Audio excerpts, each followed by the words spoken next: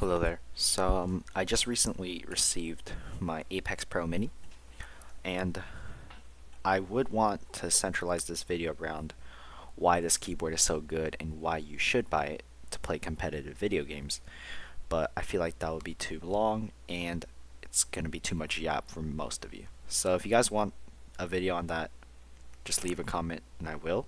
I'll dive into the technical specifics of this keyboard's technological uh, advantages.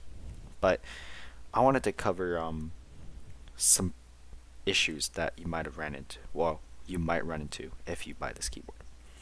So I think the biggest issue with the Apex Pro Mini, mind I do have the Apex Pro Mini, not the TKL or the 20 actually I don't know about the 2023 TKL but I don't have the original Apex Pro TKL which uses OmniPoint 1.0 switches uh, the Apex Pro Mini minis including the wireless one all use OmniPoint 2.0 switches I don't know if that makes a difference but I just want to make it clear so I think the biggest issue many people have with this keyboard is after plugging it in well I mean once you do plug it in your default actuation will be at 1.8 millimeters but you know obviously the reason why you bought this keyboard is because you want it at 0.1 millimeters with the rapid trigger function.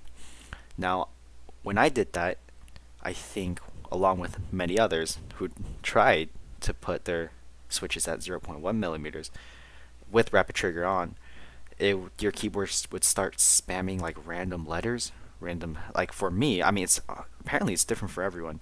For me, it was spamming a lot of a lot of slashes and brackets for uh, no real apparent reason. And what would happen is that um, it would just keep spamming these keys, and my Windows would eventually crash. So that's very odd and really frustrating, actually. Now, on the TKL versions, you do have an OLED screen, meaning that you can, without this software, you can change the actuations. Uh, but on the Mini, obviously, as a 60% formatted keyboard, there is no space for an OLED screen. Therefore, when it starts spamming keys, you're kind of forced to restart your computer or like because plugging it in and plugging it out, I mean, disconnecting it and plugging it back in won't really change anything. It'll still be at 0.1 millimeters. So it's kind of paramount that you read the instruction manual and you should and you will notice that if you press the SteelSeries function key plus I it will um, increase the actuation distance. Therefore, because in, what I have noticed at the start was that anything below 0.4 millimeters would start to spam these random keys and just crash Windows. So if you just Control O, I mean Control I, con I mean not Control, sorry, steel series function plus I, uh, mind that it doesn't stack. So you need to press steel series function and I, let go of, the, of both keys, and then press it again. That will lower the actuation by, I think, in increments of, I mean, increase the actuation distance in increments of 0.2 millimeters, if I'm not wrong. Therefore, you can get back to um, higher actuation points, so your keyboard won't start having a seizure. Now, I did do a crap ton of research on why this hap why this would happen, and unfortunately, the only an the only solution was to factory reset your keyboard. Now again, that's not possible on the Apex Pro Mini because we don't have an OLED screen. So we can't factory reset it.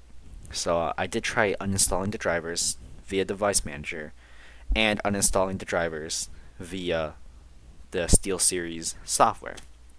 Now, well, not surprisingly, that didn't work. So I did reach out to support, and I was told that there are calibration. There's a calibration mode that you can do with this keyboard, um, but I it didn't really work either. But it was I did get my keys to get to zero like fully functioning at 0.1 millimeters with rapid trigger at 0.1 millimeters as well without any problems but that was only after I have done the calibration method, but then I also did a few other things. So, like, to con- in conclusion, like I really don't know what I did to resolve this issue, but like it might have just been a matter of time. But here are some of the steps that I did do. Now let me open Chrome.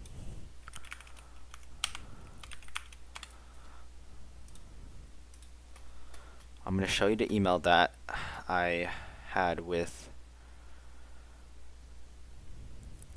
SteelSeries. So,